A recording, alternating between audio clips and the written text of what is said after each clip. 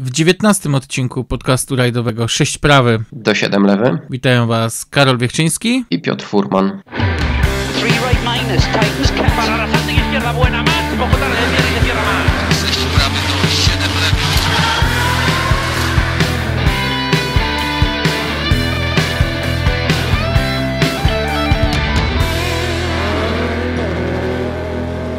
Sezon w pełni chciałoby się powiedzieć, chociaż Race of Champions zawsze kojarzyło mi się z tą przerwą zimową przed rajdem Monte Carlo. No ale widocznie terminy układane były bardziej pod gwiazdy Formuły 1, które no chyba nikogo nie zaskoczyły. Musisz się ze mną zgodzić. Race of Champions, y, tradycyjna impreza, e, po raz kolejny zmieniła lokalizację. Tym razem wyścig mistrzów odbył się w Szwecji. E, na śnieżno-lodowej nawierzchni. Ale czy w związku z tym jesteś zaskoczony? Bo to jest dla mnie najistotniejsze. Czy jesteś zaskoczony, że jednak y, kierowcy rajdowi górą? Nie, nie jestem zaskoczony. Ja zawsze uważałem, że kierowcy rajdowi górą. Tutaj Lep widać jest wybitnie na fali. E, wygrał już czwarty raz, wyrównał rekord e, swojego rodaka Didier Oriola pokonał w finale Sebastiana Vettela. Tam e, chyba e, jak oglądałeś to widziałeś tę śmieszną scenę z próbą otwierania szampana. Tak, tak, tak. E, dosyć duże problemy Vettel miał z szampanem, ale impreza ciekawa. Wszystkich kibiców chyba pozytywnie nastroił wyścig samochodu elektrycznego z Audi Quattro S1, który zakończył się na szczęście zwycięstwem klasycznej rajdówki Audi. Ja mimo wszystko tu będę skupiał się nad zwycięstwem klasycznego Stiga Blomqvista, który już tyle lat za kierownicą, ale im starszy, tym lepszy. Tam no ciężko było mówić o jakimkolwiek błędzie. Widać było, że stary, dobry Stig jechał jak od linijki. No i ta jazda Czyli zaprezentowała. Rajdy górą.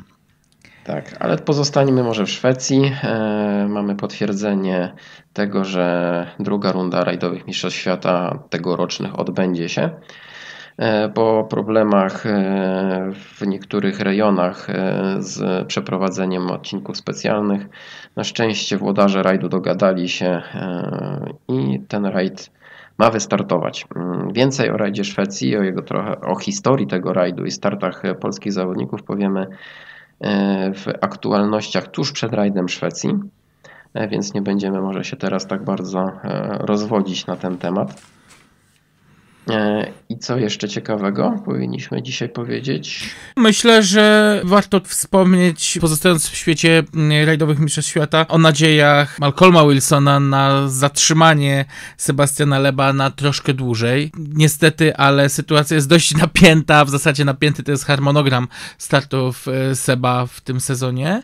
Mm, natomiast Wilsonowi marzy się, żeby pojechać jeszcze cztery rajdy e, z Sebastianem. No, wszystko jest kwestią, myślę, tutaj dżentelmeńskich układów i, um, i pieniędzy. Niestety. No A jak będzie, to zobaczymy. zobaczymy w Portugalii. Zapowiedział, że na pewno nie wystartuje w Chorwacji. Portugalia wydaje się dosyć realna. A co będzie dalej? No, te rajdy do Mistrzostw Świata no, kolidują z tymi zawodami Extreme E e, i z rajdowymi Mistrzostwami Świata rajdów terenowych. E, także to wszystko będzie pewnie się działo na bieżąco. Lep ma Ale... na pewno dużą chęć pojechać jeszcze coś w Pumie Rally 1, to, to bez wątpienia. Natomiast ja dostrzegam też u niego troszkę frustracji związanej z kontraktem z ProDrive'em, mm, no ale może faktycznie uda się to tak zrobić, żeby, żeby te cztery rundy jeszcze um, pojechać. No, sfrustrowany z pewnością nie jest Malcolm Wilson, e, który wprost szaleje, jeżeli chodzi o e, jakieś posunięcia dotyczące tego sezonu. E, kolejna Puma Rally 1 jest przygotowana już e, dla e, kolejnego kierowcy. Czy to niespodzianka? Myślę, że nie. nie. Ciężko mówić o niespodziance, ale widzisz, tutaj chciałem się odnieść do tego, co, o czym rozmawialiśmy mm, pod koniec zeszłego roku, po prezentacji Pumy Rally 1, y, w M-Sporcie wreszcie są pieniądze. I, I, myślę, że te wszystkie roszady z samochodami to jest pokłosie właśnie tego, że wreszcie M-Sport od, odetchnął po tych y, chudych latach. Teraz y, wsparcie Forte jest na tyle bogate, że no, mają ten komfort. Kolejna Puma potwierdzona dla Pierre Louis Loubet. E, młody kierowca e, z Francji e, zdobywał już doświadczenia przecież w rajdowych mistrzostwach świata. W zeszłym roku wystartował w Hyundaiu i20 WRC. Było to auto wystawione przez satelicki zespół Tusi Competition.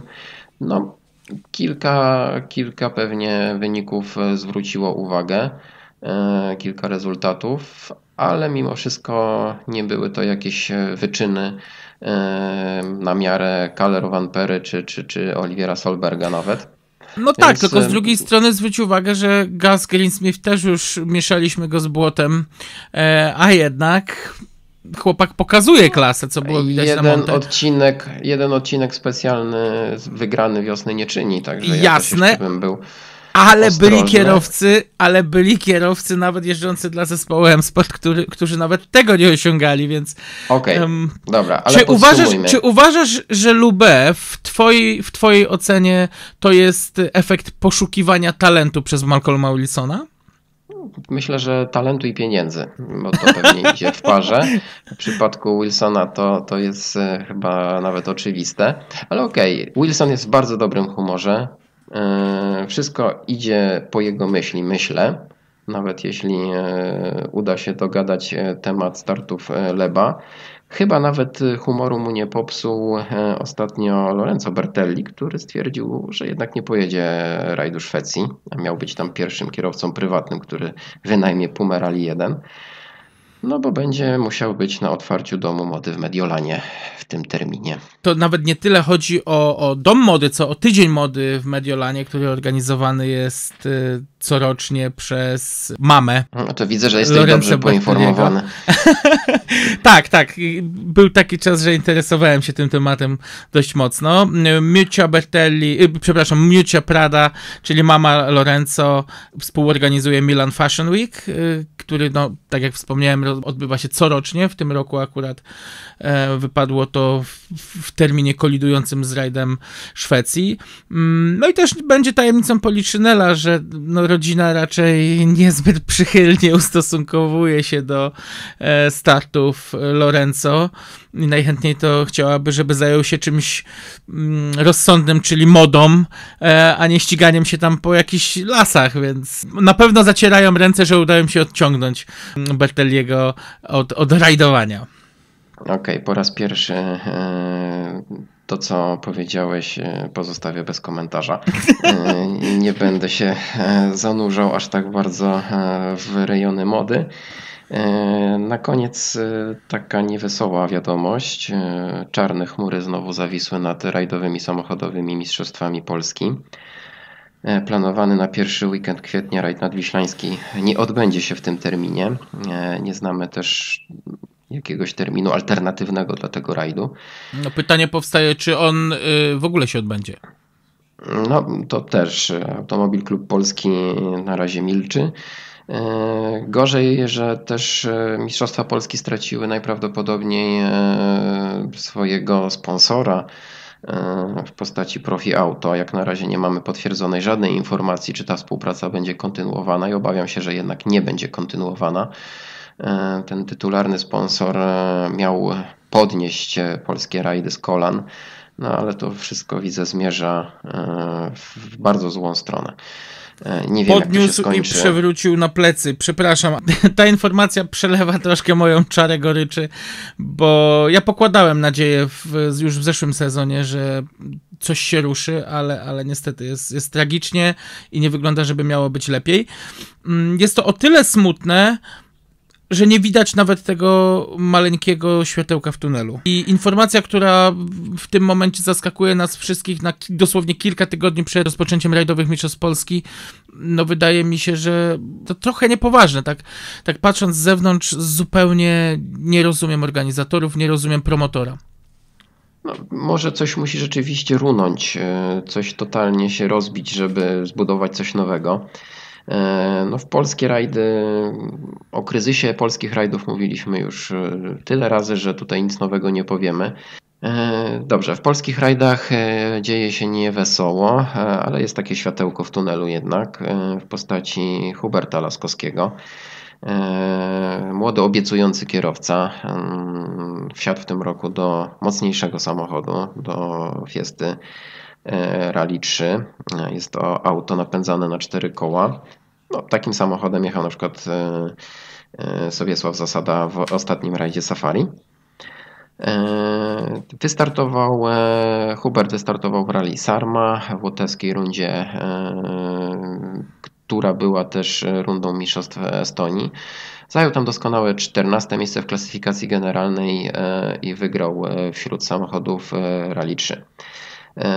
Obiecujący wynik, biorąc pod uwagę tego, jak przebiega rozwój kariery tego młodego chłopaka, jesteśmy naprawdę bardzo dobrej myśli, e, że jednak e, kierowca biało-czerwonych barwach e, kiedyś godnie nas zaprezentuje na międzynarodowej arenie.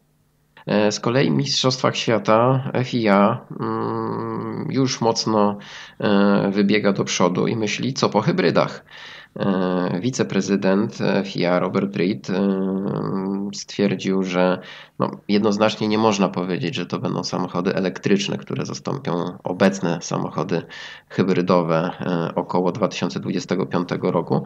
Więc tutaj jeszcze trzeba będzie e, dużo popracować e, nad formułą, która nas czeka. Czy to będą rajdówki napędzane paliwami alternatywnymi, biopaliwami czy, czy, czy, czy, czy wodorem, tego jeszcze nie wiemy. No prace bądź co bądź cały czas trwają nad właśnie mm, paliwami syntetycznymi, czego najlepszym dowodem jest zespół ProDrive korzystający z takich paliw i właśnie podczas tegorocznego rajdu Dakar. To się sprawdza znakomicie, te paliwa są naprawdę o wiele bardziej mm, ekoprzyjazne. Mm, ja myślę, że to jest słuszny kierunek, y, bo no mimo wszystko samochody rajdowe no muszą wydawać z siebie jakiś dźwięk i to chyba będzie taka e, ostoja normalności w świecie nawet zelektryfikowanej motoryzacji.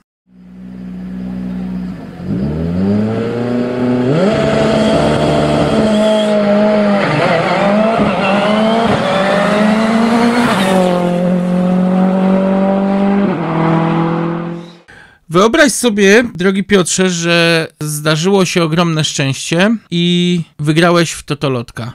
Powiedzmy sumę 4 milionów złotych, bo chyba taka ostatnio była w kumulacji. Ja wiem, że dżentelmeni o pieniądzach nie rozmawiają, ale chciałbym, żebyśmy popuścili trochę wodzy fantazji. W jakim samochodzie moglibyśmy cię zobaczyć z taką kwotą i w jakim cyklu? Czyli będziemy jednak rozmawiać o pieniądzach. E, no, podjęliśmy dzisiaj temat trudny, wręcz karkołomny. E, rozmawiając o pieniądzach, e, które są nieodłącznym elementem rajdów samochodowych, postaramy się Wam dzisiaj przedstawić przybliżone koszty udziału w rajdach samochodowych i porównać je z czasami minionymi.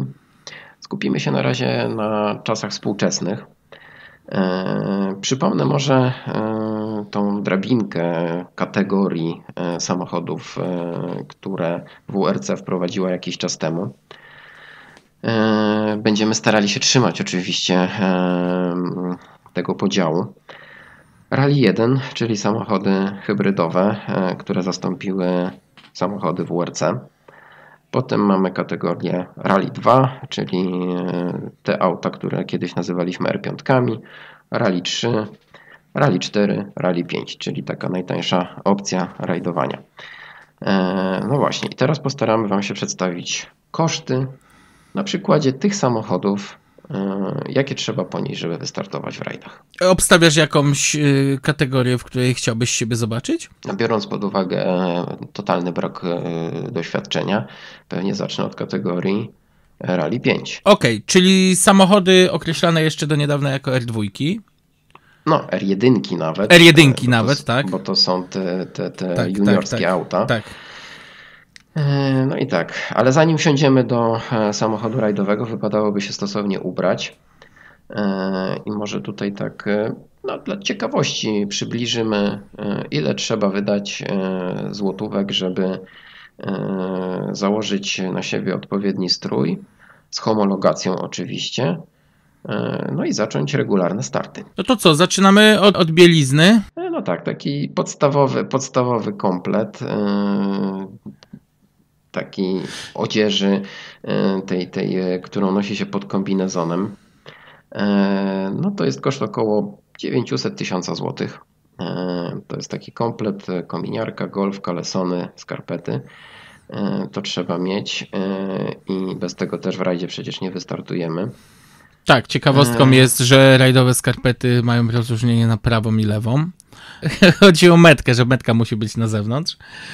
Tak, no niektórzy sędziowie to skrupulatnie sprawdzają, e, więc trzeba się pilnować. E, no, trzeba założyć e, na głowę kask. Kask to jest koszt, no dobry kask minimum 2,5 tysiąca złotych kosztuje. Myślę, że gdzieś w granicach takiej kwoty.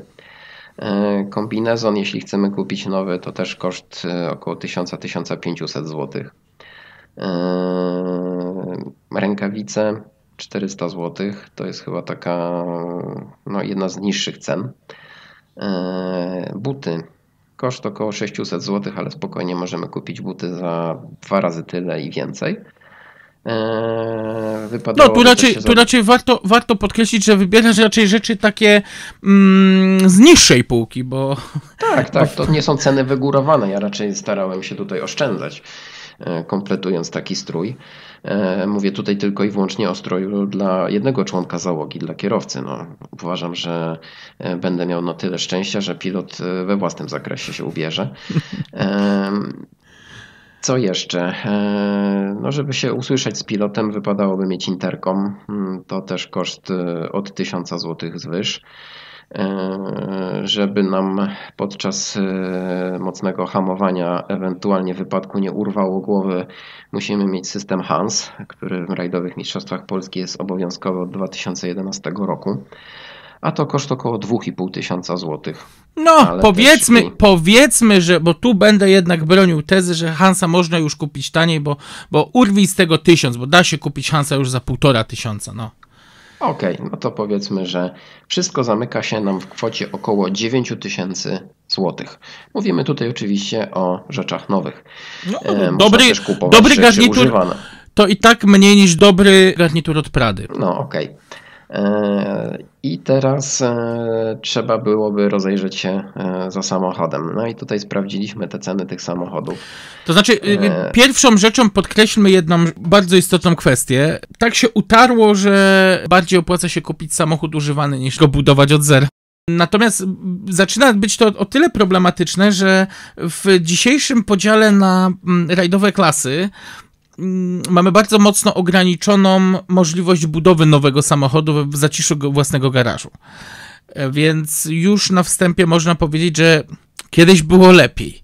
Dzisiaj niestety e, autoklasy Rally 5 już musi być kupione, znaczy ono nie musi być, ale po prostu jest dużo taniej kupić go gotowego. Więc skupmy się na tych gotowych rozwiązaniach dostarczanych przez e, tunerów.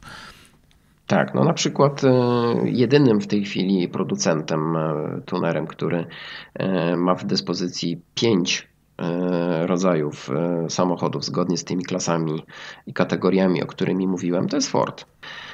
W przypadku klas od Rally 2 do Rally 5 to są Fiesty, przednio lub czteronapędowe, no Rally 1 wiadomo, nowa hybrydowa Puma. Niedługo do e, Forda dołączy Citro, e, przepraszam, Renault, e, które ma zamiar już przygotować do sprzedaży Clio R3, więc przybędzie nam też jakaś alternatywa.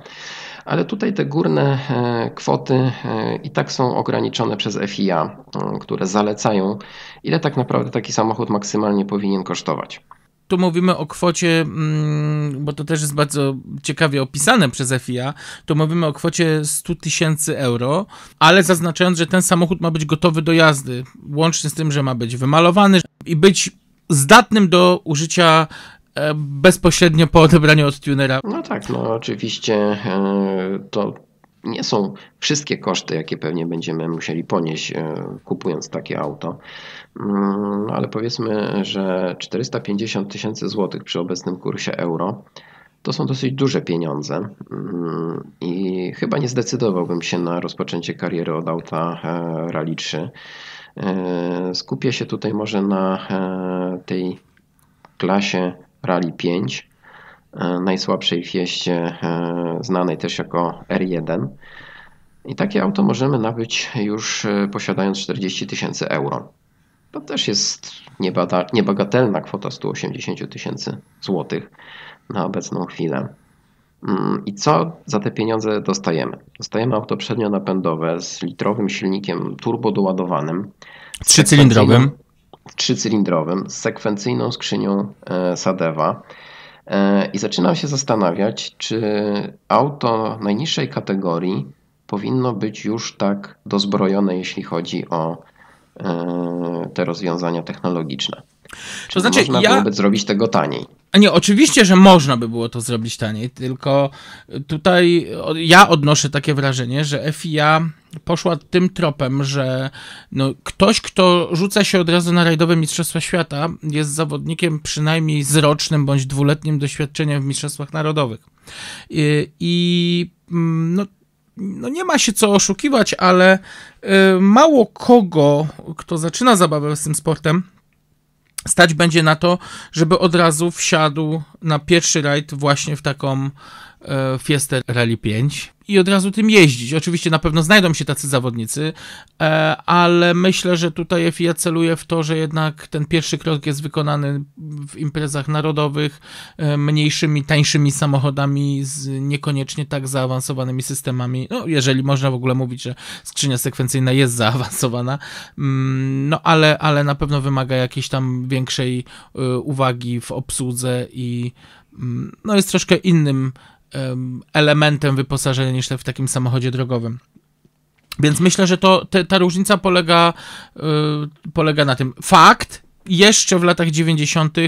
Mm, najsłabsze klasy startujące nawet w rajdowych mistrzostwach świata, nawet w pewnego rodzaju, można to podciągnąć już pod puchary, no były samochodami, które były o wiele bardziej zbliżone do aut drogowych, bo nawet taki Citroen AX czy Fiat Uno, no były to auta, które o wiele więcej miały wspólnego z normalnym drogowym samochodem i jeszcze dało się je zbudować właśnie w zaciszu mm, domowego garażu. No ja właśnie do tego, do tego zmierzam, e, że te samochody rajdowe, nawet najtańsze, którymi e, można zacząć karierę od zera, nie posiadając jakiegoś doświadczenia w startach, są już dos, dosyć e, zaawansowanymi technicznie samochodami. No tak, ale Piotrek, to jest jakby nie było samochód dopuszczony do imprezy w rajdowych Mistrzostwach Świata i bierzmy pod uwagę, że no mało kto zacznie swoją przygodę z rajdami od rajdowych Mistrzostw Świata. No tak, no dla przykładu może podam, że taka nowa Fiesta z salonu e, przystosowana do jazdy e, cywilnej e, to koszt około 66-70 tysięcy złotych. To też jest dobry przykład, że jednak technologia kosztuje użyta w tych samochodach rajdowych i te rajdówki tanie nie są i już nigdy nie będą. Mam takie wrażenie. Mm, I no dobrze, ale okej, okay, no powiedzmy, że decyduje się na kupno takiej fiesty. Mm, startuje rok, dwa w rajdowych mistrzostwach Polski i czy stać mnie posiadając e, resztki e, z wygranej na start e, w rajdowych Mistrzostwach Świata. Ja zrobiłem pewnego rodzaju symulację i, i pełny sezon według moich kalkulacji, może ktoś będzie wiedział lepiej, natomiast według moich kalkulacji wychodzi na to, że mm, pełny sezon w samochodzie R1 powinien zamknąć się nam w kwocie 200, no okej, okay, wrzućmy to w widełki, między 200 a 250 tysięcy funtów, czyli w tym momencie to jest jakieś milion dwieście tysięcy złotych? No, przy obecnym e, kursie e, funta to jest e, znaczna kwota. i w dalszym ciągu jeździmy samochodem najsłabszym w stawce. Łapiemy doświadczenie, rozwijamy się. Oczywiście, no. ale bierzemy podać... już, ale bierzemy już udział w imprezie rangi Mistrzostw Świata. No dobrze, no możemy oczywiście jeszcze się zdecydować na starty w Mistrzostwach Europy, e, co byłoby bardziej naturalną e, drogą rozwoju. E, no wiadomo, że kosztowo pewnie będzie starty w Mistrzostwach Europy będą bardziej zbliżone do Mistrzostw Polski niż do Mistrzostw Świata, chociaż też to będzie zależne od tego, jakie, jakie rajdy wybierzemy, w jakich wystartujemy i jak będzie wyglądała nasza konsekwencja w ich e, kończeniu. Czy nie będziemy rozbijać tego auta, e, czy raczej grzecznie dojeżdżać do mety. No właśnie, to czy nie lepszą alternatywą na początek takich startów jest zwyczajnie mm, wypożyczyć taki samochód? No, to jest najlepsza alternatywa tak naprawdę. Mm, wypożyczanie aut rajdowych już od dawna jest takim naturalnym krokiem E, jeżeli chodzi o e, korzystanie z profesjonalnych samochodów rajdowych. No ja sprawdziłem koszt wynajmu takiego samochodu mm, i można śmiało powiedzieć, że zamyka się on w 30 euro za kilometr OS-owy, czyli no, około 130 zł. Do tego oczywiście trzeba doliczyć e, obsługę, no i tutaj też w zależności od rajdu, w zależności od tunera waha się to między 3,5 2,5 a 4 tysiące złotych. No, plus jeszcze jakieś tam dodatkowe koszty związane z logistyką, transportem. Więc no jest to atrakcyjna alternatywa do kupna samochodu. To teraz y, mamy drugą opcję, tak? czyli nie zakup, a wynajem. Wynajem wydaje się e, dosyć atrakcyjną formą. Y, I teraz. Y, jeśli w ogóle jesteśmy zainteresowani rozwojem naszej kariery, możemy też zdecydować się na start e, autem e, mocniejszej kategorii, choć w dalszym ciągu przednionapędowym, czyli Rally 4. E, tutaj mamy Fiestę, mm, którą możemy nabyć w cenie 70 tysięcy euro. No i powiem Ci, że tutaj po przeliczeniu tego na złotówki ta kwota już zaczyna powoli przerażać, bo to już jest 300 tysięcy złotych. Więc tanio nie jest, a tak naprawdę co nam ten samochód oferuje? To jest w dalszym ciągu przednionapędowy samochód, w dalszym ciągu z litrowym silnikiem, no ale o mocy około 200 koni, więc możemy trochę tym samochodem pojechać szybciej. Więc zastanawiam się, czy w ogóle jest sens e, inwestować na przykład w auto klasy Rally 5 i zaczynać od tego samego dna, a może jednak lepiej zdecydować się na auto e, Rally 4. No to już jest indywidualna sprawa kwestii rozwoju kariery, bo ja mimo wszystko tu chyba, gdybym miał prowadzić zawodnika, to chyba jednak wydaje mi się, że lepszą opcją byłoby zacząć od y, auta klasy Rally 5, mm, ale już w Mistrzostwach Świata y, i dopiero y, no powiedzmy, jeżeli, jeżeli tu okaże się, że zawodnik rokuje, to zaliczyć kilka rajdów właśnie w samochodzie klasy Rally 4. Szczerze powiedziawszy, zawsze próbuję znaleźć gdzieś odzwierciedlenie w historii Y, tych, tych y, aut i o ile, no okej, okay, auto klasy Rally 5, mimo tej sekwencyjnej skrzyni, no to jest taka mała pucharóweczka, no to y, auto klasy Rally 4 mnie jest ciężko do czegokolwiek porównać, bo osiągami, no te samochody już są zbliżone do małych kitkarów, do aut z silnikiem 1.4 choćby nawet i one naprawdę wiele potrafią, natomiast one jeszcze troszkę kuleją zawieszeniowo. I, i tutaj mam dysonans z tym właśnie, że, że nie bardzo, nie bardzo rozumiem rozumiem ideę tego samochodu, no ale ktoś miał więcej wiedzy na ten temat, że, że to tak skonstruował. No okej, okay, no to jeżeli e, idea e, samochodu Rally 4 e, nie przekonuje Cię, możesz skorzystać z oferty M-Sportu no i zakupić Fiesta Rally 3, czyli auto w tej hierarchii najsłabsze, ale już z napędem właśnie na cztery koła. E, z turbodoładowanym silnikiem e, o mocy ponad 200 koni. Taki samochód e, daje nam już większe możliwości.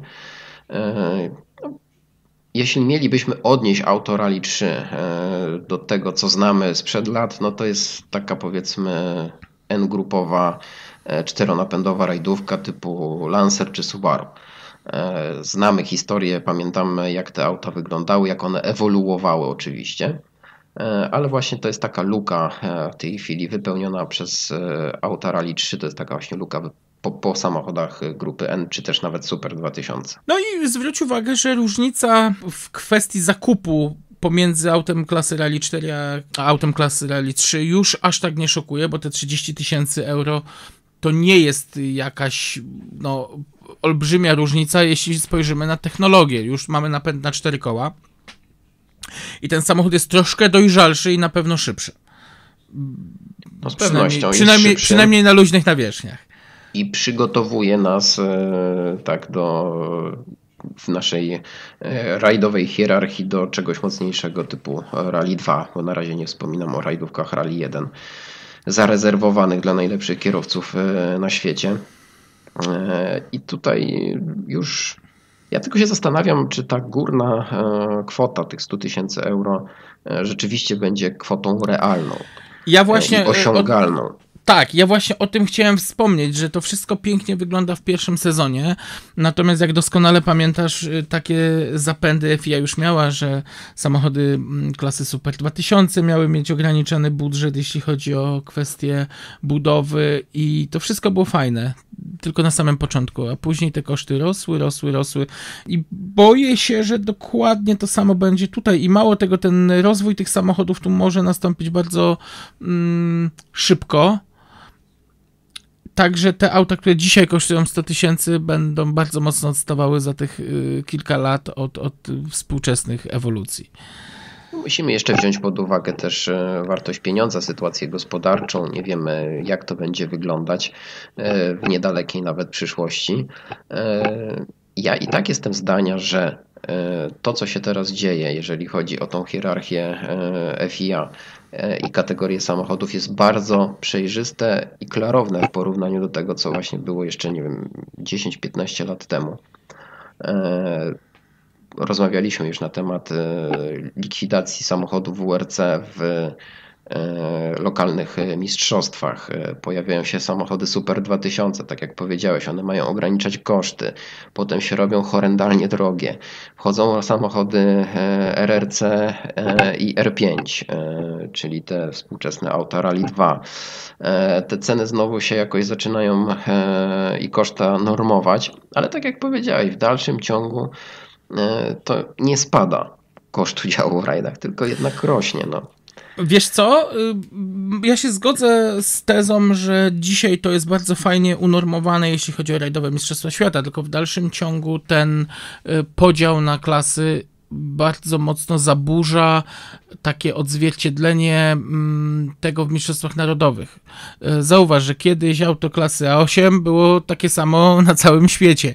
Dzisiaj mm, już pomijam kwestię tego, że autem klas, auto klasy Rally 1 jest y, no, zarezerwowane tylko i wyłącznie dla zespołów fabrycznych, no bo nikt sobie nie zbuduje auta w klasie A8, przepraszam, w klasie Rally 1, tak jak miało to miejsce w, w, w latach y, samochodów budowanych y, przez mniejszych tunerów, mm, więc, bo nikt, nie, nikt, nikt, nikt, nikt tego auta nie będzie w stanie homologować, więc jest tak, usystematyzowane na poziomie Mistrzostw Świata, natomiast y, cała reszta jest w dalszym ciągu w rozsypce. Natomiast jeżeli zaimplementujemy ten e, podział na Mistrzostwa Narodowe, no to niestety, ale obetniemy możliwość y, startu, bo poziom wejścia do tego sportu no będzie o wiele droższy niż jest dzisiaj. Bo tu się nie ma co oszukiwać. Świetnie. Szczególnie.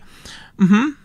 Świetnie, że o tym wspomniałeś właśnie, bo to na przykładzie krajowych rozgrywek rzeczywiście zaczyna się trochę gmatwać, bo mamy do czynienia przecież też jeszcze z autami innych klas e, sprzed paru lat, które oczywiście w dalszym ciągu są dopuszczane do startów.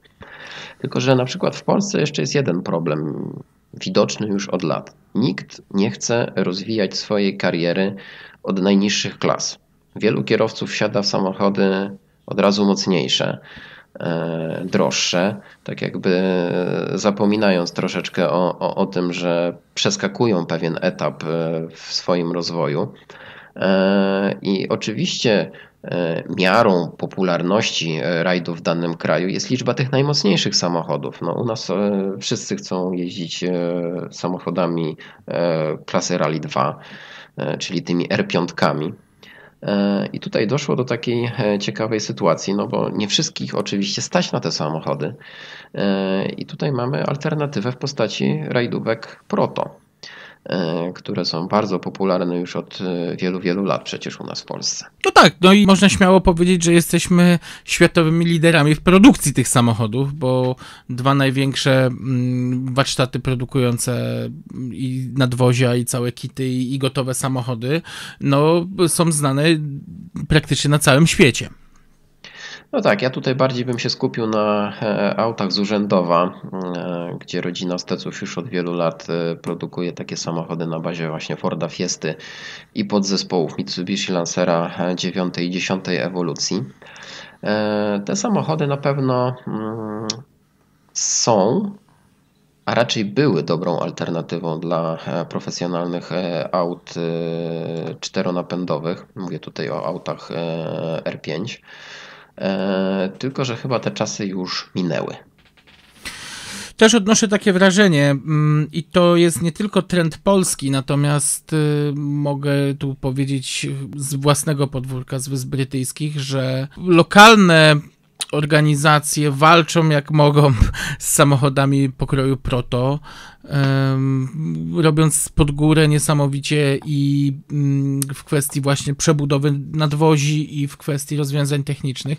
Inna rzecz, że Wyspy Brytyjskie to w ogóle jest bardzo specyficzny kraj, jeśli chodzi o budowę prototypów i samochodów, które są bardzo unikalne dla tych, dla tych rajdów, choćby nawet no tu trzeba wspomnieć o takich konstrukcjach jak Peugeot 306 mm, z silnikiem Coswortha centralnie zabudowanym, który no masakrował praktycznie wszystkich w klasie Open mm, czy tylno-napędowe Focusy Mark 1, więc y, to akurat jest, jest, jest taka specy lokalna specyfika.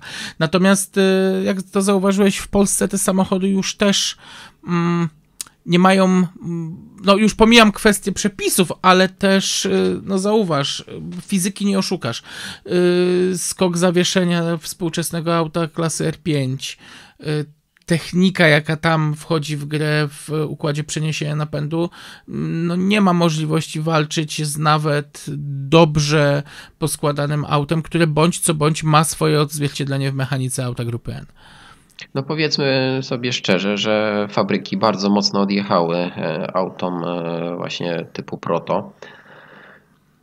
No, przypomnijmy właśnie e, rozwiązania zastosowane w tych samochodach, e, ponieważ e, to jest tak naprawdę Lancer w innym nadwoziu. Oczywiście mamy tutaj inny rozstaw kół, inny rozstaw osi. Wszyscy uważają, i to nie jest tajemnicą, że najlepiej te auta sprawowały się na układzie napędowym Lancera Evo 9. Silnik i układ napędowy z dziesiątki no już nie robi takiego wrażenia. Tak więc e, sprawdzony układ napędowy z Lancera, e, gdzie rodzina Steców ma opracowaną e, do perfekcji pracę nad Mitsubishi, no, był gwarancją sukcesu. No, przypomnijmy, że te samochody z garażu z urzędowa wygrały chyba cztery rajdy w Mistrzostwach Polski. Tego co pamiętam, to zwycięstwa odnosił Brian Bouffier i jeden rajd wygrał e, Mariusz Stec. E, no ale tak jak już powiedziałem, e, fabryki mocno odjechały. Odjechały cenowo, ale też technologicznie. Zakup takiego Proto na pewno jest dosyć kuszący, jeżeli chodzi właśnie o cenę, bo nowe takie auto kosztuje około 350 tysięcy złotych w tej chwili. E, mamy tam sekwencyjną e, skrzynię już, e, zawieszenie z pakietu R4, czyli z tego ostatniego takiego rozwoju auten grupowych, które pamiętamy. Używany samochód można kupić około 100 tysięcy złotych mniej, ale tak naprawdę ten samochód już sprawdza się tylko i wyłącznie w rallycrossie. I tam tych samochodów będzie pewnie coraz więcej. A w Mistrzostwach Polski no jednak jeżeli chcesz walczyć o tytuł mistrza Polski, e, musisz mieć auto e, Rally 2, czyli, czyli tą profesjonalną fabryczną R5. No więc sam widzisz jednak, że skądś ta cena samochodu klasy R5, nawet używanego samochodu klasy R5, która w dalszym ciągu oscyluje w granicach tych no 150-200 tysięcy euro, jednak no, musi się musi się gdzieś to, to skądś się to brać.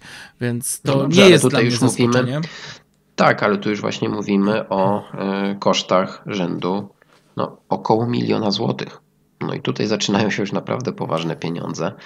E, oczywiście, no, wiadomo, że ta, taka kwota jest inaczej postrzegana przez kierowcę, który może dopiero e, chce wsiąść w takie auto i startować w Mistrzostwach Polski, a inaczej postrzegana na przykład przez takiego Michała Sołowowa, który e, no, nie ma problemu, tak żeby takie auto wynająć i wystartować w rajdzie Szwecji. Jasne, tylko wspomniałeś, tu, mhm. tylko wspomniałeś tutaj właśnie o dwóch różnych światach. Na zasadzie o osobie, która jest bardzo biegła w obsłudze tych e, rajdowych ustrojstw, mm, bo nie oszukujmy się, e, pan Sołowow ma doświadczenie i za kierownicą samochodu WRC, i za kierownicą R5, e, i za kierownicą auta mm, Super 1600 i grupy N, więc jest babu kierowcą, który jest bardzo mm, biegły technicznie w prowadzeniu tych samochodów. E, natomiast no, chyba mało kto, kto faktycznie zacznie karierę, nawet z dużym budżetem, od razu wsiada w R5.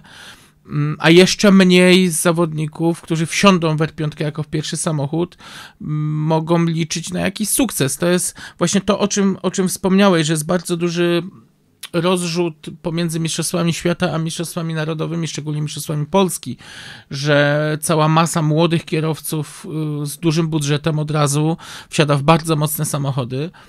Mm, no i chyba sam się ze mną zgodzisz, że to no, nie procentuje później. Pamiętam taką rozmowę, którą odbyłem kilka ładnych lat temu z Juchą Kankunenem, właśnie na, do, dotyczącą szkolenia młodych talentów. I on właśnie położył nacisk na to, że większość latających Finów, pomimo tego, że no, gdzieś wsiadali koniec końców w bardzo mocne samochody, to jednak karierę zaczynali od. Yy, no, za jego czasów starych eskortów, które początkowo posiadały moc przekraczającą często 100 koni mechanicznych. I właśnie dzięki temu to był ten pierwszy samochód w tej rajdowej drabinie. Oni uczyli się szacunku do prędkości, oni uczyli się jak utrzymywać tą prędkość, że zjawisk zachowania pędu, że, że ten samochód nie ma się zatrzymywać, on ma po prostu jechać y, jak najbardziej stabilnie, równo, nie szarpiąc, nie hamując gwałtownie. Natomiast jeżeli wsiądziemy w mocny samochód, to już nie, nie szanujemy tej prędkości tak e, dosadnie, jak właśnie w przypadku aut powolnych.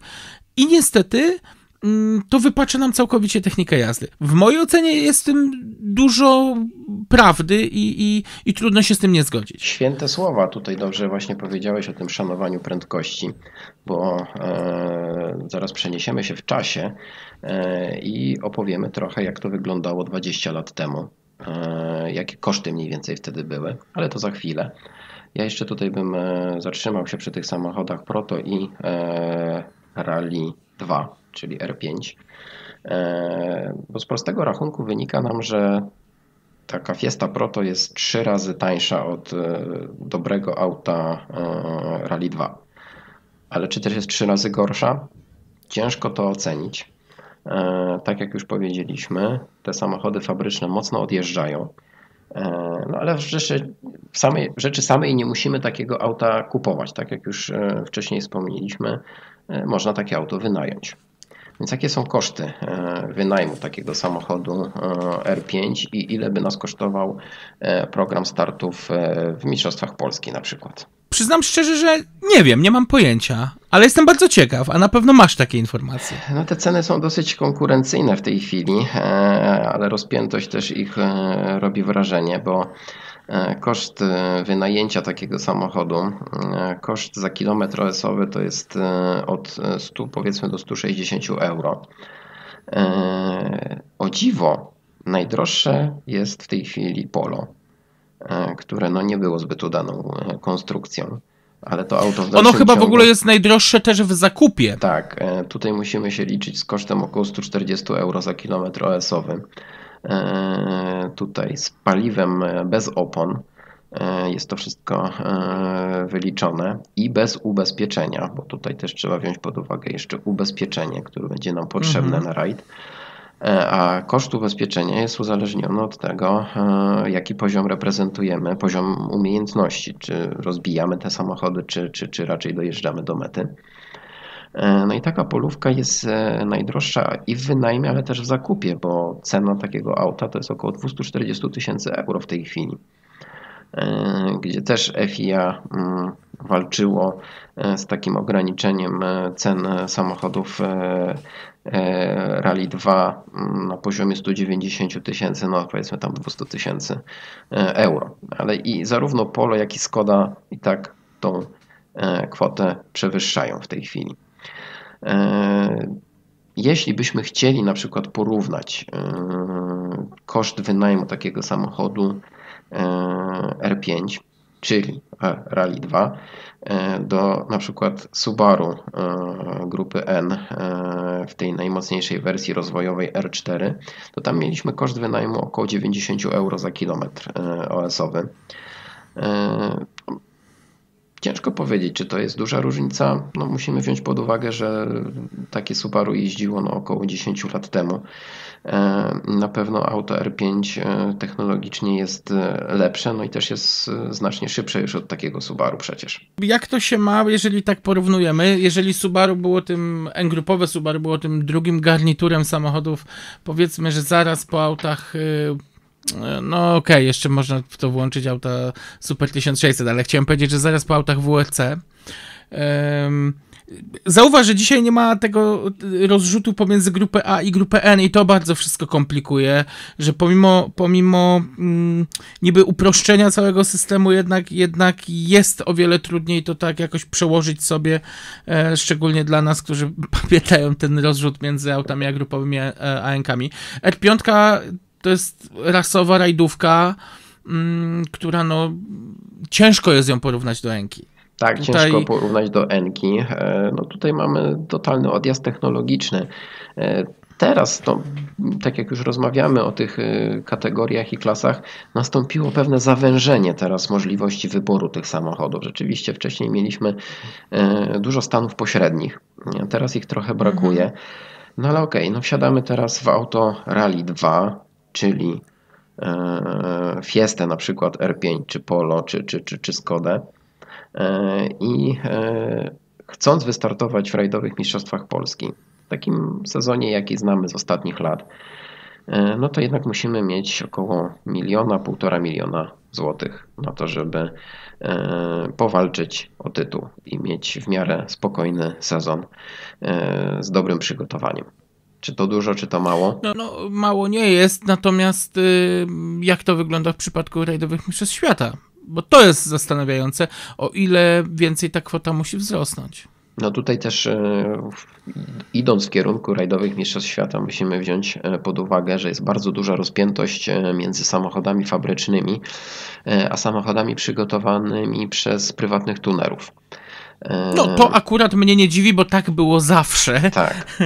Więc tutaj te ceny i, i koszta samych, samego udziału w rajdowych mistrzostwach świata będą bardzo, ale to bardzo rozpięte e, i tutaj aż ciężko nam tak naprawdę podać jakieś konkretne kwoty, e, bo na pewno inne pieniądze na sezon wydaje Kajetan Kajetanowicz startując w Mistrzostwach Świata, e, a na pewno inny budżet ma na przykład taki Toksport, e, który jest e, no, satelicką, satelickim tunerem Skody, która pomimo, że się wycofała jako zespół fabryczny, to nie ukrywajmy, że, że te auta z Toksportu Nadal to są wsparcie. takimi samochodami właśnie fabrycznymi.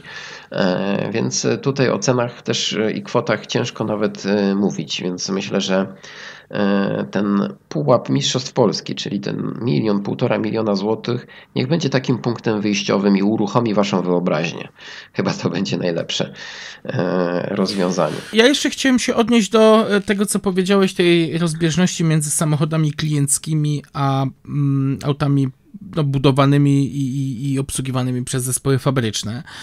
No bo to nie jest żadna tajemnica, że tak było od zawsze. Już od czasów y, samochodów grupy czwartej, te auta y, budowane, no już w zasadzie od, od, samochodów grupy drugiej, mm, te auta budowane przez fabrykę były lepsze, były szybsze i, i, i precyzyjniej złożone i bardziej dopracowane.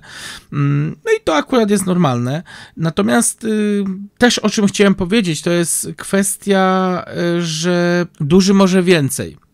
Zespół, który faktycznie jest, jest, jeszcze działa przy fabryce, ma zaplecze technologiczne, ma mm, zaplecze metalurgiczne, że mają możliwość na bieżąco analizowania jakichś uszkodzeń i, i wprowadzenia bezpośrednio na bieżąco poprawek. Y, no jest to o wiele łatwiejsze i wiadomo, że oni mają dostęp do tego dużo wcześniej niż zespoły satelickie.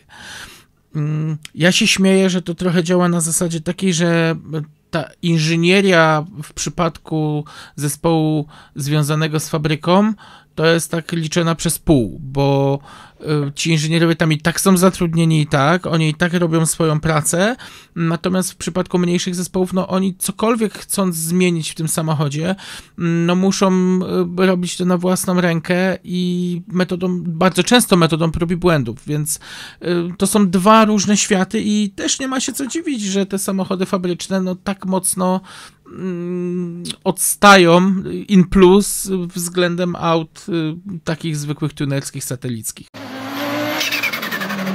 No dobrze, ale e, jeśli to jest wciąż za drogo, a chcemy popróbować siłę w samochodzie czteronapędowym z turbodoładowanym silnikiem, e, no możemy sobie takie proto na przykład wynająć na jedną rundę e, zawodów rallycrossowych za 20 tysięcy złotych mniej więcej.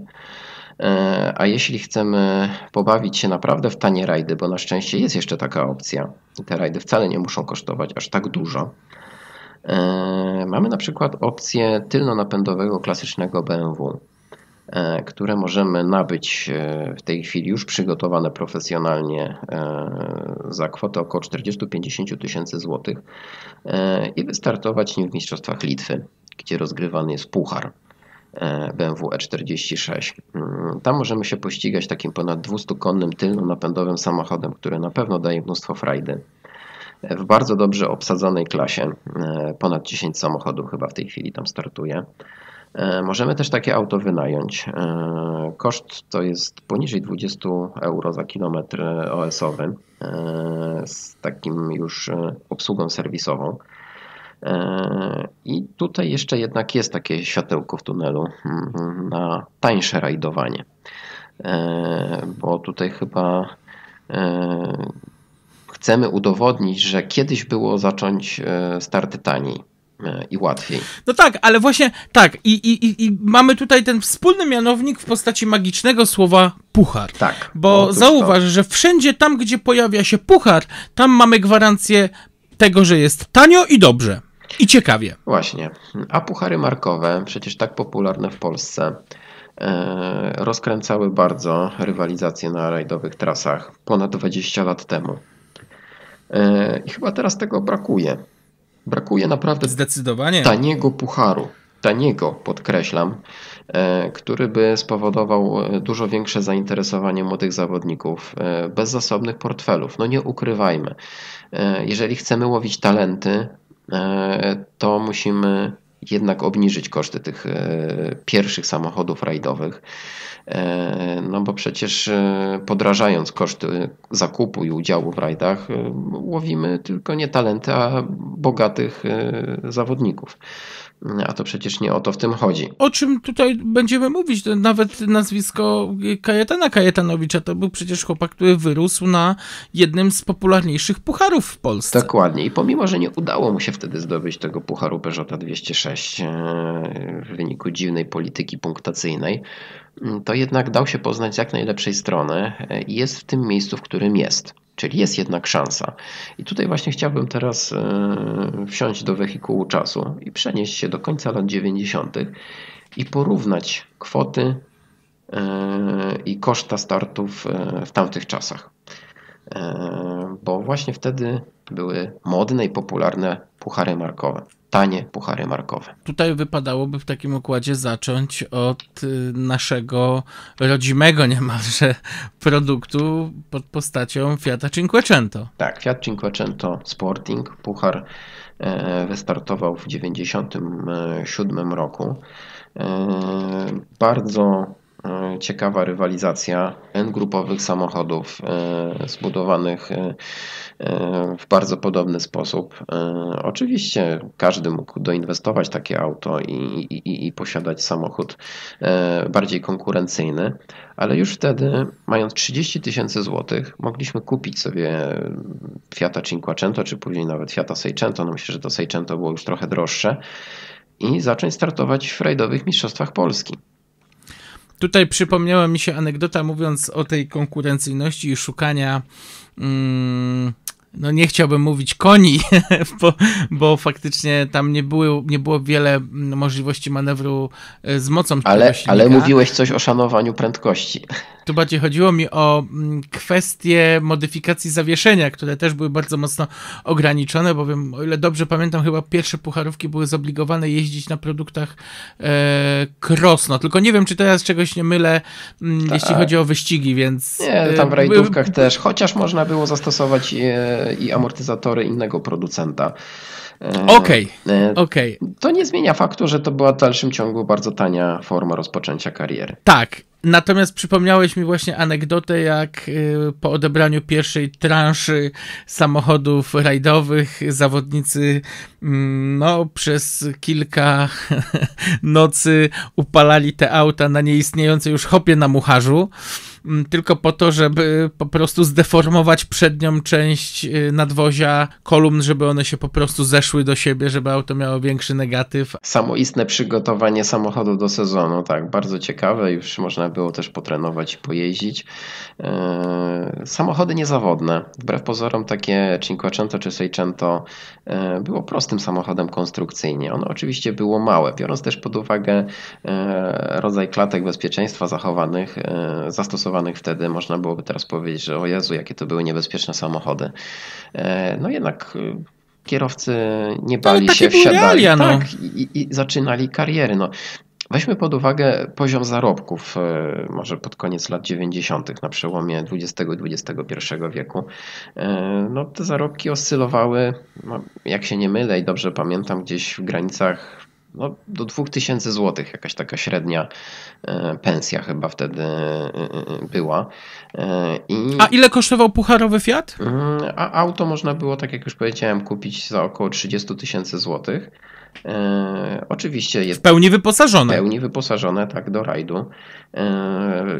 Jeżeli Fiat Seicento czy Cinquecento był za słaby, e, no to tutaj Peugeot ruszył z pomocą i od 1998 roku mieliśmy Peugeot, e, Puchar Peugeota 106 e, Rally. E, tamte auta oczywiście były droższe, no bo bazowo taki samochód przygotowany e, do sezonu kosztował 36 e, tysięcy złotych, ale trzeba było jednak liczyć się z kosztem około 15 tysięcy złotych na takie dozbrojenie tego samochodu, żeby jednak było no, ciut szybsze oczywiście w granicach regulaminu i pozwalało na zwycięstwo w całym cyklu. No a więc jak to się ma dzisiaj do zarobków e, na poziomie, no fajnie by było móc tu powiedzieć no, nawet tysiąca euro, to już tak z dużą górką e, w przypadku, w przypadku zarobków e, w Polsce tysiąc euro w stosunku do 40 tysięcy za auto Rally 5. No ja może tutaj... No troszkę smutno. No ja może tutaj jeszcze e, wzbogacę naszą wiedzę o ceny części zamiennych w przypadku takiego Peugeota 106. Ile kosztowały wyprane części, na przykład klocki hamulcowe przednie, komplet wtedy kosztował około 500 zł brutto do takiego samochodu rajdowego. E, wałek rozrządu można było kupić za 870 zł. E, układ wydechowy kompletny e, to koszt niespełna 5000 zł. Wiadomo, no, my oczywiście powiedzieliśmy tutaj o cenie zakupu gotowego auta. Oczywiście trzeba było przygotować budżet na cały sezon, e, żeby wystartować, e, bo ten sezon oczywiście różnie się układał. E, nie zawsze pomyśli zawodnika. Ale to w dalszym ciągu jednak było, śmiem powiedzieć, tanie, profesjonalne rajdowanie. Jeśli ktoś nie załapał się do puli Peugeota, mógł e, od 2000 roku zdecydować się na przykład na takiego Deulanosa, który e, też prowadził e, kilkanaście, miało być kilkanaście na początku egzemplarzy tych Lanosów. Tam cena zakupu w 2001 roku to mm, chyba oscylowała w okolicach 38 tysięcy złotych. Więc też niewygórowana cena za dosyć solidny samochód. E, Ze strapki. E, tak. E, I, i, oczywiście kierowcy kupowali te auta, potem przerabiali je na samochody agrupowe i te samochody naprawdę się sprawdzały. No właśnie, to chciałem powiedzieć, że początkowo te auta wywoływały dużo mm, uśmiechów, bo chyba mało kto traktował Deu poważnie poza samymi zawodnikami. E, nawet wśród kibiców taka obiegowa opinia chodziła, że jak jechała stawka Lanosów, to trzeba było jednak zrobić ten krok w tył, bo te auta były troszkę nieprzewidywalne na tych mocno pływających zawieszeniach. Szczególnie na samym początku, tam gdzie były problemy z hamulcami, bo, bo tu trzeba nadmienić, że o ile dobrze pamiętam, to później Lanos chyba dostał, yy, dopuszczono zastosowanie innych zacisków hamulcowych i one chyba były albo z Astria, albo z Opla Omega, już nie pamiętam. W każdym razie co było jednak znaczące, to to, że ten samochód był naprawdę bezawaryjny. Był bezawaryjny. Te samochody przeżywały takie historie, tak. Y, a jednak dojeżdżały do mety. Startowały przecież też i w szutrowych rajdach. E, tak, tak. No, Lanus wydawał się ciężki, e, ale z tego co się dowiedziałem od jednego z zawodników, którzy startowali wtedy takim samochodem, to pięciodrzwiowe nadwozie było lżejsze od tego trzydrzwiowego, które e, w wersji pucharowej mhm. finalnie nie występowało, ale jednak też miało homologację do rajdów i takie trzydrzwiowe Lanosy też się trafiały. Samochód za stosunkowo, tak jak już powiedziałem, nieduże pieniądze e, dawał masę frajdy w postaci rywalizacji e, wśród zawodników posiadających podobne samochody. No bo nie identyczne, no umówmy się, one nie były identyczne, one były podobne. E, ale okej, okay, to były puchary markowe. W którymś momencie trzeba wyjść z piaskownicy i, i, i zacząć starty samochodami bardziej rozwojowymi. E, no i tutaj e, przypomnę jeszcze może takie e, ceny bardzo popularnego samochodu w klasie N3, który na przykład dał Mistrzostwo Polski Tomkowi Kucharowi w 1998 roku. Taki Peugeot 306 S16 kosztował przygotowany do rajdów w granicach, no myślę maksymalnie do 200 tysięcy złotych. No tutaj już ta cena jest dosyć duża ale mówimy już o profesjonalnym e, aucie, e, który daje dobry punkt wyjścia albo do mocnej ośki, albo do przesiadki do samochodu już czteronapędowego. To jest tak jak wspomniałeś, samochód, który naprawdę dawał mnóstwo frajdy z jazdy. E, taka rajdowa, nawet N-grupowa mm, wersja, tam moce już dochodziły do 190, czasem 200 koni, więc y, już było co robić. Specyfika tego silnika jeszcze bardzo mile wspominam, bo miałem przyjemność pojeździć takim e, N-grupowym samochodem. Co było fenomenalne, to, to, to właśnie charakterystyka silnika, który no wręcz prosił o to, żeby go jeszcze bardziej kręcić, więc mm, to był taki przedsmak, jak wspomniałeś, właśnie małego kitkara. No ale właśnie, mały kitkar. E, mały kitkar, jeśli byś chciał jednak wystartować takim małym kitkarem w tamtych czasach, no to musiałeś przygotować się na no, trzykrotny koszt takiego N-grupowego Peugeota, bo to już był koszt około 600 e, tysięcy złotych. Oczywiście to mówimy o takim aucie e, no, z Francji i, i, i dobrze przygotowanym. E, a to i tak nie jest jeszcze jakaś oszałamiająca cena, no bo przecież jeszcze Peugeot miał wtedy e, w swoim garażu 306 Maxi, e, którą startował wtedy François Delcourt i, i, i Gilles Panizzi. No i tutaj te ceny to już powiem szczerze, że robiły wrażenie, bo one oscylowały w granicach za takie fabryczne auto no, od miliona do powyżej dwóch milionów nawet złotych, w zależności od specyfikacji. No, do tego jeszcze doliczmy kwestię części zamiennych, bo my cały czas mówimy o mm, kosztach zakupu samochodu. Natomiast y, co trzeba podkreślić, to, tak. to, to, to, fakt, że wraz z awansem na mocniejsze klasy, mm, no jednak rośnie y, koszt obsługi tego samochodu, koszt inspekcji między rajdami, koszt części zamiennych i to już jest niestety, ale naprawdę znacząca różnica. No ale te ceny samego zakupu czyli wartości tego samochodu, powiedzmy rajdowego egzemplarza, e, są takie dosyć obrazujące i moim zdaniem robią wrażenie w dalszym ciągu. Mogliśmy wtedy też się zdecydować na tańsze e, auto typu KitKar. E, na przykład taka Skoda Felicia KitKar można było kupić ją już za około 100 tysięcy marek, no, czyli po dobrym targowaniu takie auto pamiętam można było nabyć od Damiana Gielaty chyba finalnie za 60 tysięcy marek. Ono e, z taką ceną e, było ogłaszane 20, e, mm, ponad 20 lat temu już. Można było też to auto wynająć. 10 tysięcy marek to była taka kwota za wynajęcie tego auta na rajd samo auto bez części, to wtedy była kwota taka no, za, za, za, za gołe auto, więc tutaj też trzeba byłoby doliczyć e, jeszcze sobie opony, części, paliwo. E, robią wrażenia na tobie te, te, te, te wartości? No robią, robią, to się nie ma co oszukiwać, tylko z drugiej strony miejmy świadomość tego, że to już była profesjonalna grupa, to już był samochód, który naprawdę był w stanie mm, powalczyć i, i, i no, szczególnie mówiąc tutaj o kitkarach, y, to już takie przedmurze do samochodów klasy WRC. Tak, ale y, jeszcze mieliśmy y, alternatywę w postaci Mitsubishi Lancera na przykład bardzo popularnego przecież samochodu rajdowego wtedy w Polsce.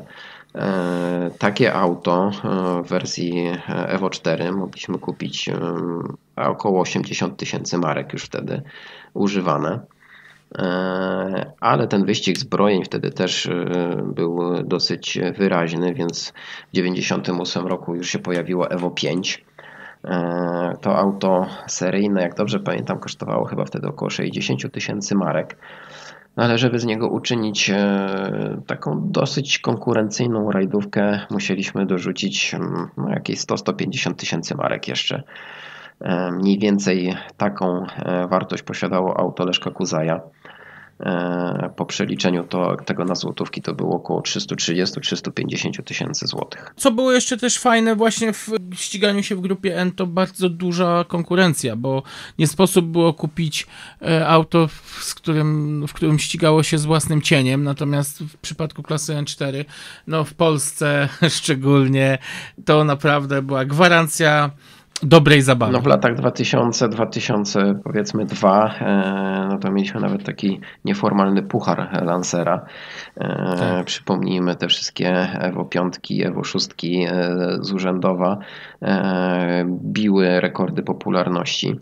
Nie jestem w stanie teraz tego zweryfikować ani ostatecznie sprawdzić, ale obiły mi się o uszy kwoty rzędu nawet 80 tysięcy złotych wynajęcia takiego auta na rajd.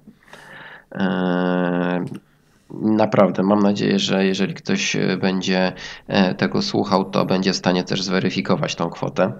Eee, tutaj nie byłbym zaskoczony, jeśli jednak e, nawet i takie pieniądze trzeba było położyć na, na, na stół, żeby takim samochodem wystartować. Ale w dalszym ciągu jesteśmy w, w, obrębie tych tańszych samochodów jednak. Faktem jest, że w pewnym momencie samochody z urzędowa były tak popularne, że było więcej chętnych niż samych samochodów, bo były czasy takie, że e, urzędowski rallyard e, no, przywoził auta dla połowy stawki w e, grupie N. No tak. E, więc tutaj trzeba było konkretną monetę na stół położyć e, i, i, i można było się cieszyć jazdą takim topowym lancerem.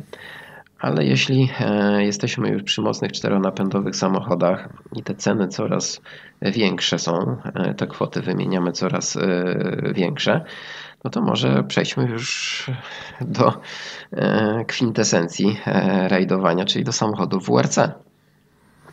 No, tutaj było w pewnym momencie naprawdę duże pole do popisu, bowiem e, tunerów, którzy przygotowywali mocne, szybkie auta, było bardzo wielu. Praktycznie pod każdą szerokością geograficzną ktoś przy wódcach e, dłubał. Można było mieć samochód z Czech, można było mieć samochód z Belgii, z Włoch czy z Wielkiej Brytanii. Tych, tych tunerów naprawdę było multum. Natomiast y, to też przekładało się na konkurencyjność y, w przypadku cen. Warto też nadmienić, że e, sam rozrzut technologiczny, no bo nie oszukujmy się, auta z, z początku lat e, klasy WRC bardzo mocno różniły się e, z względem samochodów po roku 2000, więc to też przekładało się na, na cenę. No tak, no ale Stąd okay. też Stąd też można powiedzieć, że koszt zakupu, koszt z jakim trzeba było się liczyć w przypadku zakupu takiego samochodu oscylował e, powiedzmy po 2000 roku między 600 a e, no 800, czasem i 900 um, tysięcy funtów. No dobrze, to w takim razie, żeby nie owijać w bawełnę, e, to powiedz mniej więcej, ile mogła być warta impreza WRC Krzyśka Hołowczyca w 98 roku? No to był samochód z górnej półki, więc ja y, tutaj śmiało będę obstawiał taką wartość w granicach 800 tysięcy funtów. No właśnie, ja cię świadomie o to zapytałem, bo to było jedno z najdroższych aut y, wtedy, które e, jeździły po polskich odcinkach specjalnych, tak. ale tak jak już wcześniej wspomniałeś, były e, tańsze możliwości nabycia czy, czy wynajmu e, samochodu WRC. I na przykład taka Toyota Corolla WRC, która w różnych specyfikacjach była była dostępna. E, można już e, taką Toyotę było nabyć za 900 tysięcy e, marek. Było to auto, co prawda bez joysticka, jest jednym aktywnym dyferencjałem. Na pewno droższy, wtedy dużo droższy był Focus WRC, wyceniany na około 1600, miliona, przepraszam, 600 tysięcy marek. E, I, tutaj też e, trzeba wziąć pod uwagę, e, że mało kto kupował na własność te samochody. No, wynajem w dalszym ciągu też był dosyć popularny, a koszt wynajmu na przykład takiego Forda Escorta WRC no, wahał się w granicach 250-270 marek za kilometr OS-owy.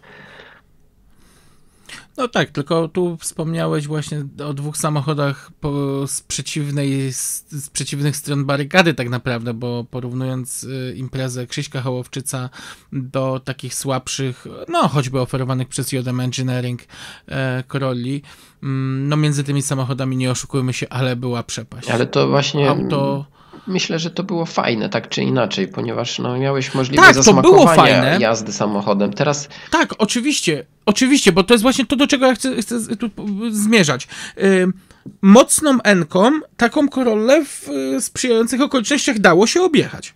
No tak bo, bo historia zna takie przypadki. Natomiast y, sposób, w jaki ten samochód się zachowywał na drodze, y, sposób, w jaki pracują jego mechanizmy, y, on już dawał tą namiastkę prowadzenia pełnego wódca auta z najwyższej półki i, i to było fantastyczne. No ale sam Także... przyznasz, że potencjalnego sponsora bardziej przyciągnęło nawet e, słabsze auto WRC niż topowy Lancer. Takie mam wrażenie. Oczywiście, że, oczywiście, I, że tak, tym bardziej, trasę, że... Oczywiście. Tak, tym bardziej, że ja odnoszę wrażenie, że mm, te trzy magiczne literki, one troszkę się zdewaluowały w ostatnich latach i samochody, no już teraz nie mamy do czynienia z autami WRC, ale do, jeszcze do zeszłego roku auta e, oznaczane jako WRC, mm, to już nie miały takiego wydźwięku jak właśnie w latach dwutysięcznych, jak na początku lat dwutysięcznych. No nie były to nigdy tanie samochody. E, podobnie miała się rzecz z samochodami topowymi, a grupowymi e, tuż e, przed samochodami WRC. Ja taką ciekawostkę podam. Nie wiem, jak bardzo rozminę się z prawdą, bo to jest też taka orientacyjna kwota, ale program startów Krzysztofa Hołowczyca w 1997 roku w Mistrzostwach Europy pochłonął koszt około 1,5 miliona dolarów. E, mam nadzieję, że też ktoś może coś ciekawego jeszcze dorzuci e, do, do tego, co tu powiedziałem. E, ewentualnie zweryfikuje nam te, tę kwotę. No, rajdowanie topowymi samochodami, samochodami nigdy nie było tanie.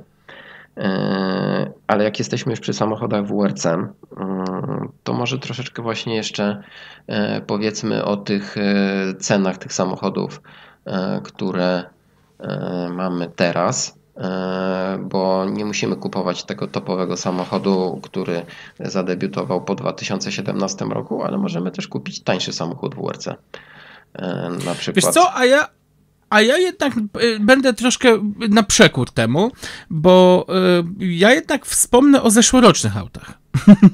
To znaczy, Bo jeżeli mówimy o. Tak, chcesz powiedzieć o tej ostatniej specyfikacji samochodu WRC, tak? WRC, tak, tak, tak. tak okay. O to mi chodzi. No bo, no bo jeżeli. Zamknij, zamknijmy to klamrą właśnie y, pod tytułem WRC. Bo jeżeli okay. mówimy tutaj o samochodach, które y, dochodziły, no w skrajnych przypadkach, ja nie mówię o autach fabrycznych, bo wiadomo, że samochód fabryczny inaczej się liczy i owszem, można powiedzieć, i to tak było mówione zawsze, że e, fabryczne auto WRC to jest tam milion dolarów. Tak się y, utarło mówić. Y, samochód kliencki to było 800 tysięcy, auto fabryczne kosztowało milion. Chociaż nigdy nie było na sprzedaż.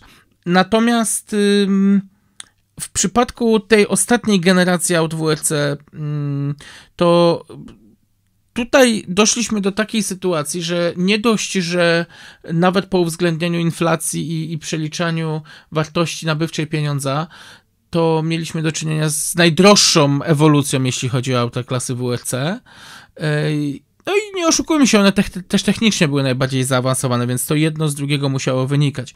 Mm, I tutaj co ciekawe, był dość duży rozrzut pomiędzy wartością deklarowaną przez samych producentów.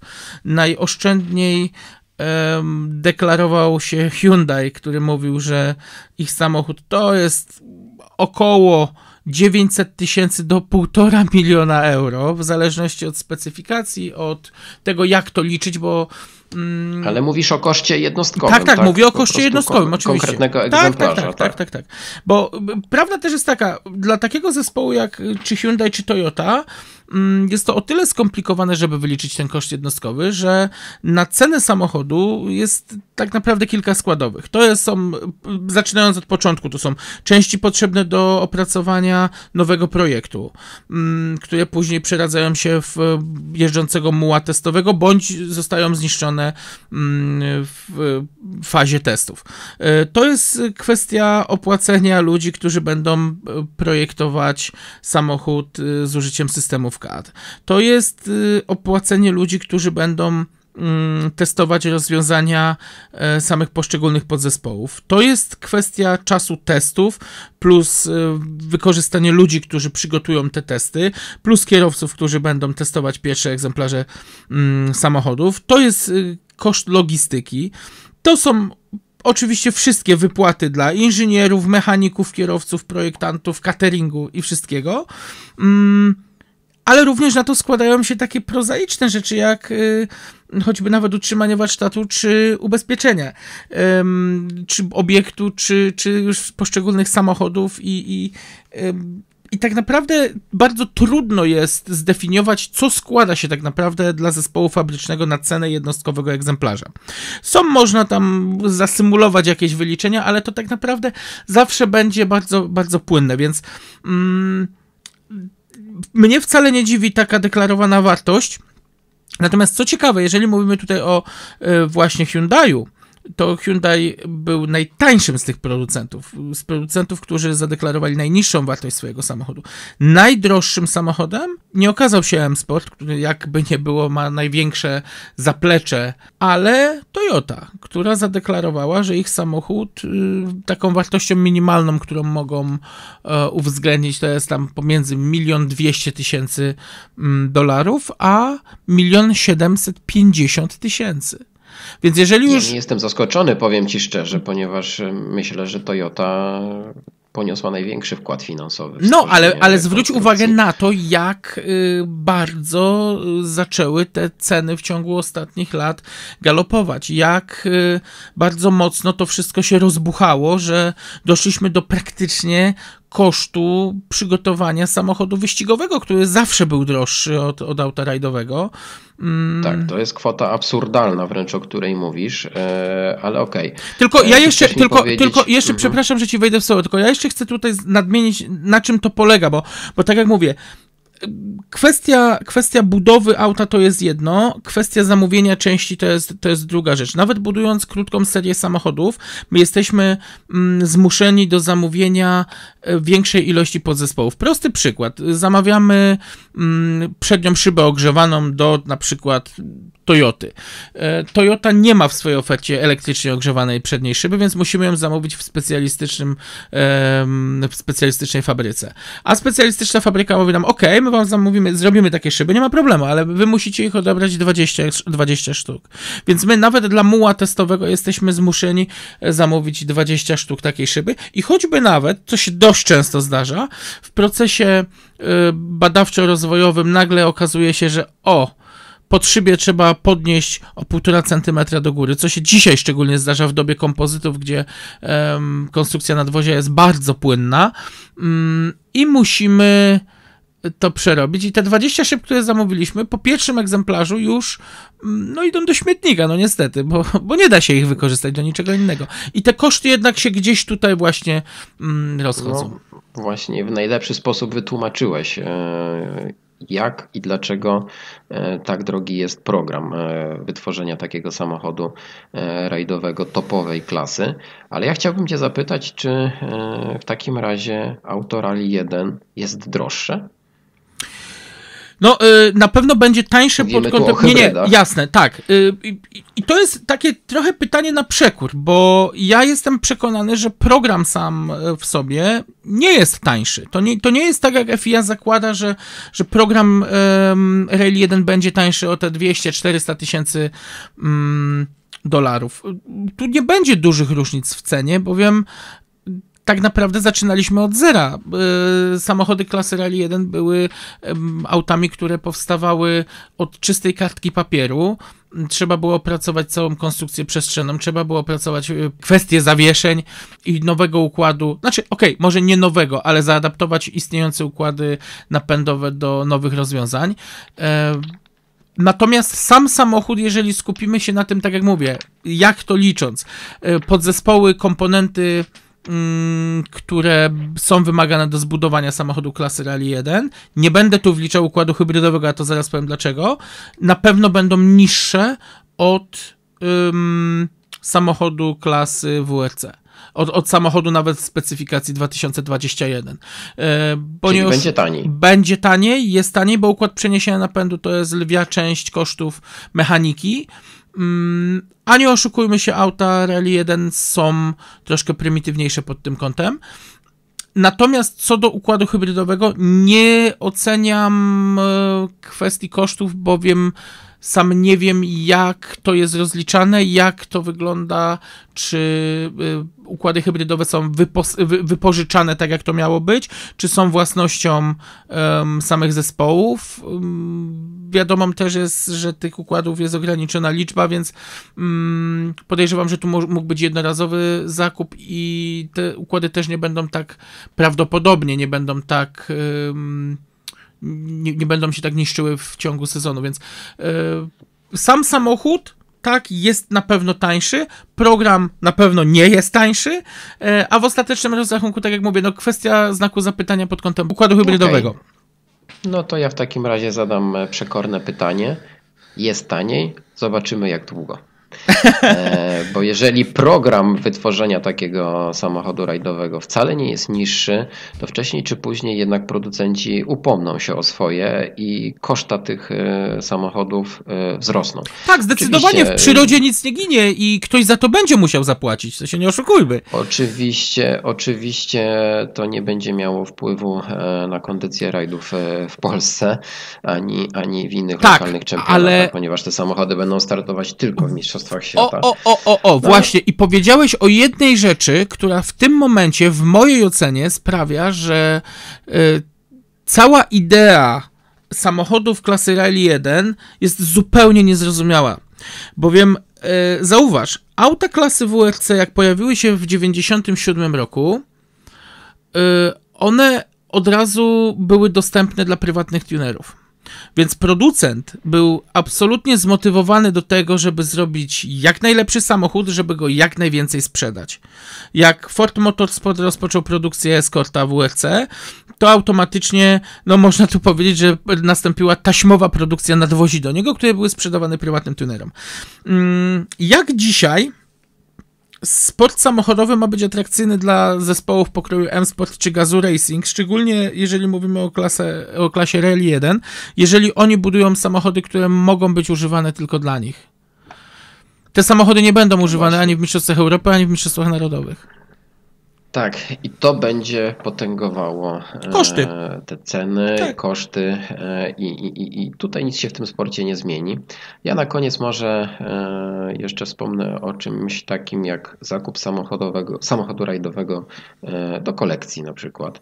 Bo jeśli byś chciał kupić sobie Forda Focusa na przykład WRC 2006 po Miko Hirvonenie, no to jak myślisz, jaki pieniądz musiałbyś przygotować, żeby nabyć taki samochód? Myślę, że Forda Focusa to jeszcze nie są jakieś yy, yy, gigantyczne pieniądze, jednak samochody WRC jeszcze nie są aż takie drogie, ale no yy, przytocz cenę, bo szczerze mówiąc nie wiem ile auto po Hirvona nie kosztuje. No takie auto, e, które stoi w tej chwili w garażu M-Sportu jest wycenione na 400 tysięcy e, funtów e, plus podatek VAT. No, taka pokaźna kwota e, za auto, którym tak naprawdę, no nie wiem, gdzie mógłbyś wystartować, jakbyś bardzo chciał. No, imprez wbrew pozorom jest cała masa dla samochodów historycznych i to jest fantastyczne, bo mając takiego fokusa jest gdzie jeździć wbrew pozorom, szczególnie w Europie Zachodniej. Natomiast y, przyznam szczerze, że tak w mojej ocenie jest to cena absolutnie nie mająca przełożenia na realną wartość tego auta, bo za te pieniądze mówimy tutaj o pół miliona. Mm, to było w funtach czy w euro, przepraszam? E, to jest 400 tysięcy funtów. Funtów, okej. Okay. To za pół miliona funtów można kupić y, o wiele fajniejsze samochody, jeszcze związane z latami grupy B, czy mm, auta związane z y, czy zespołem ProDrive, czy z Toyota Team Europe, z historią, czy nawet z samym M-Sportem. Ta cena tutaj się niestety, ale chyba płaci podatek M-Sportu, e, że jest to kupione bezpośrednio od nich. Mm, natomiast... Czyli jest jednak alternatywa. Tak! Tak, w przypadku samochodów. Zabawy w rajdy samochodowe. Jest, jest. Rajdy samochodowe, tak, bo możemy kupić e, klasycznego Forda Focusa WRC czy, czy, czy, czy Subaru Imprezę, o której wspomniałeś i na przykład wystartować w klasie historycznej rajdowych mistrz, samochodowych mistrzostw Polski. Powiem Ci więcej, możemy, możemy kupić oryginalne mm, Audi Quattro S1 Evo 2 za kwotę i to jest chyba w tym momencie najdroższy samochód rajdowy, jaki został sprzedany w zarejestrowanej transakcji, bo oczywiście um, sam znam kilka transakcji, które były na o wiele większe kwoty, e, ale po prostu nie były, nie przechodziły ani przez aukcję, ani, a nie były rejestrowane po prostu. Mm, ale okej, okay, trzymajmy się tego e, właśnie Audi Quattro S1 Evo 2 e, i to samochód bez jakiejś wielkiej historii, który został sprzedany za kwotę 2 miliony euro plus koszty obsługi aukcji, więc taki samochód zobaczyć bym chciał bardzo w rajdowych mistrzostwach Polski. Obawiam się, że to się nigdy nie stanie, ale mnie cieszy bardzo, że takie auta e, w dalszym ciągu są, bo mówimy tu o oryginalnych B-grupowych samochodach. E, o oryginalnych podkreślę, e, bo biorąc pod uwagę ilość replik i kopii mniej lub bardziej udanych jest zatrważająca auta normalnie pojawiają się jak grzyby po deszczu. Zastanawia mnie, jaka będzie wartość tych, tych e, replik. No to ci powiem, 5, bo, bo dotknąłeś bardzo ciekawego tematu, związany z zespołem Audi Sport e, gdzieś duchowo. Muszę przyznać, że zawsze szydziłem z replik budowanych przez domorosłych rzemieślników, gdzie z dwóch numerów win nagle pojawiał się jeden do wyboru w przypadku wszelkiego rodzaju S1, S1 Evo 2. Mm, I te samochody gdzieś tam były traktowane tak, to przez nas z przymrużeniem oka. E, dzisiaj ja sam momentami przecieram oczy ze zdumienia, za ile te samochody mniej lub lepiej odwzorowane względem oryginału się sprzedają. I tu już mówimy o kwotach bardzo często przewyższających 100 tysięcy funtów za zwykłą replikę, nie mającą tak naprawdę żadnej wartości historycznej i często odbiegającej technicznie od, od oryginału. Czyli w dalszym ciągu opłaca się robić repliki. No Ale to, myślę, to, że... jest, to jest niestety smutne w tym wszystkim. No tak. Smutnym akcentem chyba jednak zakończymy. Nie, nie, nie, nie, nie. Ja ci nie odpuszczę mojego pytania. Jeszcze? Ja ci nie odpuszczę mojego Aha. pytania z początku, okay. z początku nagrania. Mm, co byś zrobił mając 4 miliony złotych? No i ja już wiem, co bym zrobił. Kupiłbym e, klasycznego wórca i startował w historycznych mistrzostwach Polski. No i myślę, że Na to przekór jest... wszystkim i samemu sobie. Nie, no to dobrze, to jest taki dosyć e, no, humorystyczny e, akcent, który moglibyśmy podsumować naszą rozmowę. No ale jeśli chcesz utopić pieniądze, duże pieniądze w rajdach samochodowych, to myślę, że podaliśmy mnóstwo dobrych e, przykładów i propozycji, aby to zrobić. Wiesz, e, jaka jest recepta na to, żeby z rajdów mieć 2 e, miliony złotych? Pewnie kupić rajdówkę za 4 i sprzedać za 2. no jesteś blisko, tak, zainwestować w nie 4 miliony. Niestety, to jest taki sport. No właśnie, no. to chyba, chyba tyle. No, może trochę chaotycznie ta nasza rozmowa dzisiaj wyglądała. Rzucaliśmy tymi e, kwotami e, bardzo różnymi, w bardzo różnych walutach. Nie traktujcie tego jako poradnika e, przy tym, jak zacząć starty w rajdach samochodowych. Bardziej jako taką właśnie rozrywkę i, i te kwoty myślę, że dadzą nam do myślenia.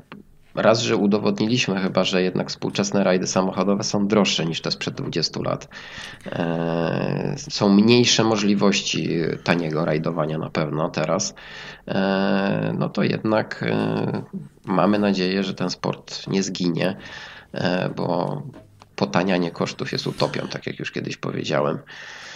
Ja mam nadzieję, jednak że. będą chętni do udziału w tej zabawie. Ja mam nadzieję, że tego odcinka jednak przesłucha ktoś z FIA i zrozumie, że kiedyś było lepiej i e, no, wróci jakiś tani markowy puchar do rajdowych mistrzostw świata, mm, który będzie wylęgarnią młodych talentów, do tego jeszcze świetnie pokazywany w telewizji. Zresztą, Boże, żeby rajdy wróciły do telewizji, to by było cudownie.